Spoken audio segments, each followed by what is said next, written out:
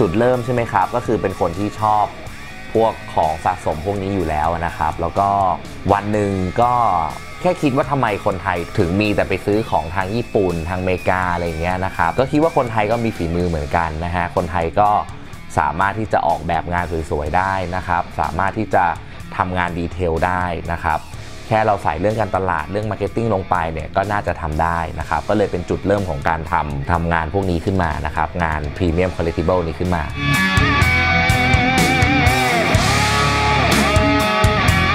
เอ่อตั้งแต่แรกเนี่ยเราก็สตาร์ทที่บัวขาวเลยครับ ก็เข้าไปคุยกับทางพี่บัวขาวนะครับ ว่าเอออยากจะทำก็เลยออกมาเป็นลิขสิทธิ์แรกของเราก็จะเป็น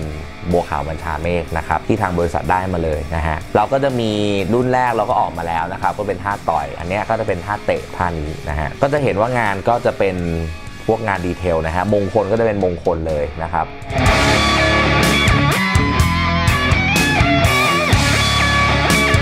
จริง ๆ ตอนแรกเราก็เก่งไว้แบบนั้นนะครับเราก็เก่งไว้ว่าที่ญี่ปุ่นเนี่ยน่าจะซื้อถล่มทลายเลย แต่จริง ๆ แล้วจะเป็นคนไทยมากกว่าครับ คนไทยก็สักประมาณเอ่อ90%ได้ต่างชาติ 10%นะครับสำหรับสำหรับพี่บัวขาวเราที่เราเลือกเป็นน้องเชอปางคนแรกเพราะว่ามันอยู่ที่เหตุการณ์นะครับ ตอนที่เราได้โจทย์มาจากทาง BNK Official ก็คือว่า เขาอยากให้เราทำเป็น moment ในการ capture เหตุการณ์ต่างๆนะครับก็อย่างที่เราเห็นในงานของทาง ToyLaxy มาก็คือเราพยายามที่จะ capture เหตุการณ์ต่างๆนะครับซึ่งเหตุการณ์นี้มันเผอิญไปตรงกับวันที่ 1 เดือน 9 2017 นะครับซึ่งเป็นคอนเสิร์ตที่จะเป็นเอ็กซ์โปเนี่ยเพลงชาติ BNK ที่น้องเขาร้องเนี่ยมันเป็นเพลงแรกที่มีการ interact กับเหล่าแฟนๆนะครับก็คือ ท่าชูไมค์ขึ้นแบบนี้ที่ให้เหล่าแฟนๆร้องกับมา BNK48 นะครับเราก็เลยมองว่าโอเคงั้นอันเนี้ยน่าจะเป็นอันแรกน่าจะเป็นชิ้นงานแรกที่เราน่าจะทำออกมา ก็จะเห็นว่าทั้งธีมเสื้อผ้านะฮะ มาจากอัลบั้มไอตากาต้านะครับ ทั้งธีมที่เป็นดอกไม้หัวใจนกพับกระดาษเนี่ยสีเสือทุกอย่างมาจากอัลบั้มไอตากาต้าหมดเลยนะฮะ เออก็ต้องเรียนก่อนนะครับว่า Premium Collectible เนี่ยมันไม่ใช่เป็น figure นะครับ figure ก็คือ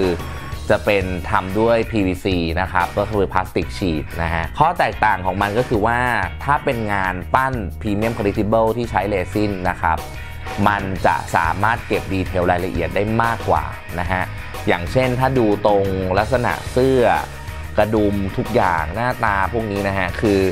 เป็นการเก็บ detail มาทั้งหมดนะครับเอ่อข้อแตกต่างอันหนึงคือ figure จะขยับได้นะครับจะมีจงมีจอยนะฮะแต่ว่าอันนี้คือเราเลือก moment ที่ดีที่สุดมาให้แล้วนะครับก็คือไว้ตั้งโชว์เลยนะครับจะสามารถเห็นได้ตรงไมโครโฟนก็คือจะเป็นไมโครโฟนจริง ๆ อันนี้จะเป็นสเกล1ต่อ6นะครับ1ต่อ 6 ก็คือน้องเขาสูงเท่าไหร่ แล้วก็มาหาร6นะครับซึ่งอันเนี้ยรวมฐานด้วยทั้งหมดจะอยู่ที่ความสูงอยู่ที่ 30 เซน กว้างอยู่ที่ 22 เซนยากครับยากก็คือเป็นงานผู้หญิงงานแรกของทางบริษัทนะครับ ซึ่งที่เห็นมาเราก็จะมีตัว ไอรอนแมนทานอสมูขาวอะไรเงี้ยคือกับกล้ามๆใช่ไหมฮะ แต่พอเป็นผู้หญิงปุ๊บเนี่ยเราก็ต้องมีการเปลี่ยนนะครับ ก็คือว่าทั้งท่าทางทั้งหน้าอะไรพวกนี้เราต้องใส่ใจมากเป็นพิเศษ ยิ่งเป็นคนที่มีตัวตนจริงนะครับ ก็หัวเนี่ยเราเปลี่ยนมาประมาณ 7-8 หัวได้นะครับ หัวหน้าแค่หน้าอย่างเดียวนะฮะเพราะเราต้องการหน้าที่ไม่ใช่แค่ต้องเหมือนน้องเชอเท่านั้นนะครับ แต่ว่าจะต้องมีความน่ารักด้วย แล้วก็ปนความเป็นแอนิเมชันนิดนึง นะครับเพราะเพื่อที่จะให้เหล่าแฟนๆ มองแล้วรู้สึกอิ่มเอมใจนะครับ รู้สึกโอเคกับโมเมนต์และลึกถึงโมเมนต์นั้นได้ เราก็เลยค่อนข้างจะใส่ใจเป็นพิเศษนะครับ ยากครับกว่าจะได้อันนี้มาตั้งแต่เราต้องทำตั้งแต่ภาพ 2D นะครับ ไล่มาจนถึงการทำ 3D นะครับ ไล่มาจนถึงการเช็คความละเอียดต่างๆนะครับ ไล่จนถึง การวิเคราะห์ว่าวัสดุส่วนไหนต้องใช้เป็นยังไงนะครับ มีความแตกยากง่ายขนาดไหนนะครับ ผลิต mass production จริงได้ไหมนะครับ แล้วก็สุดท้ายที่ยากที่สุดก็คือการลงสีด้วยมือทั้งอัน เพราะว่าจะต้องการพ่นทั้งหมดนะฮะทั้งชุดพวกนี้นะฮะยากครับยากครับกว่าจะได้มา 1 ตัว ตัวนี้ก็ใช้เวลาทำมาประมาณ 6-7 เดือนนะครับ กว่าจะสำเร็จ แก้แบบสำหรับตัวนี้ไม่ได้เยอะนะครับ เพราะว่าเราฟิกมาอยู่แล้วว่ามันจะต้องเป็นลักษณะแบบนี้นะฮะแต่ว่าที่แก้เยอะคือแก้หน้าเยอะครับหน้าเราใช้เวลานานมากๆ อย่างที่ได้เรียนไว้ว่างานละเอียดนะฮะเราพูดว่า Premium Collectible เนี่ยงานต้องสมกับราคาครับฉะนั้นเราก็ตั้งใจทำอย่างเต็มที่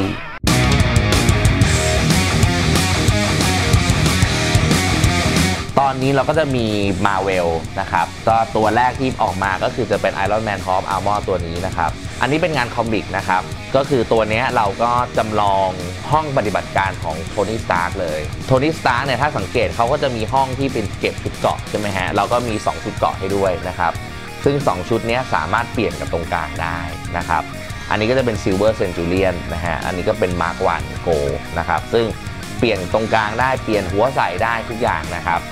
แล้วก็ตัวที่2เนี่ยก็คือทานอสนะครับทานอสเนี่ยก็คือเป็นอย่างที่ได้ดูหนังกันนะฮะแต่อันนี้เป็นคอมิกนะครับเราก็เล่าเรื่องราวชัยชนะของทานอสที่อยู่บนซากปรักหักพังนะฮะถ้าเห็นใกล้ๆตรงนี้ก็คือจะเป็นดีเทลหัวกะโหลกทั้งหมดเลยนะครับ ข้างหลังเนี่ยถ้าเห็นก็คือจะเป็นกระดูกสันหลังของสัตว์ใหญ่นะฮะแล้วก็จะหล่อหลอมทุกอย่างไว้ด้วยลาวานะครับเราก็พูดถึงชัยชนะของทานอสแต่มันอยู่บนซากปรักหักพัง จริง ๆ มีแล้วนะครับ จริง ๆ ตอนที่เราคุยกับทาง official เนี่ย เราก็กางแผนระยะยาวไว้ให้นะครับ คือธีมของของงานปั้น BNK เนี่ย เราจะเล่าเหตุการณ์ของวงตั้งแต่จุดเริ่มนะครับ ไปเรื่อย ๆ อันนี้คือจุดเริ่มใช่ไหมฮะอันที่2เนี่ยที่เราเล็งไว้ก็น่าจะเป็นมิวสิกหัวโขกใหม่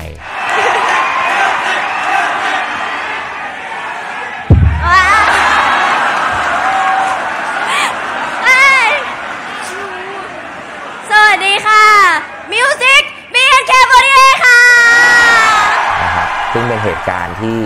แฟนๆชอบต่อมาก็น่าจะเป็นพวกเพลงคุกกี้นะฮะน้องโบบายพวกเนี้ยนะครับอาจจะมีน้องปันนะครับน้องปันใส่ชุดคริสต์มาสแต่ว่าทั้งนี้ทั้งนั้นทั้งหมดเนี่ยก็ขึ้นอยู่กับ feedback ของตัวแรกนะครับแล้วก็ขึ้นอยู่กับฝั่ง official นะฮะยังไม่ได้มีการ confirm นะครับหรือว่าจริงๆ เราก็ยังคิดเป็นแบบสอบถามนะครับ ให้คนเข้ามาโหวตกันได้ว่าอยากให้ทำตัวไหนนะฮะเดี๋ยวเราก็จะจัดให้นะครับตามที่แฟนๆต้องการ Ha ha ha ha ha ha ha!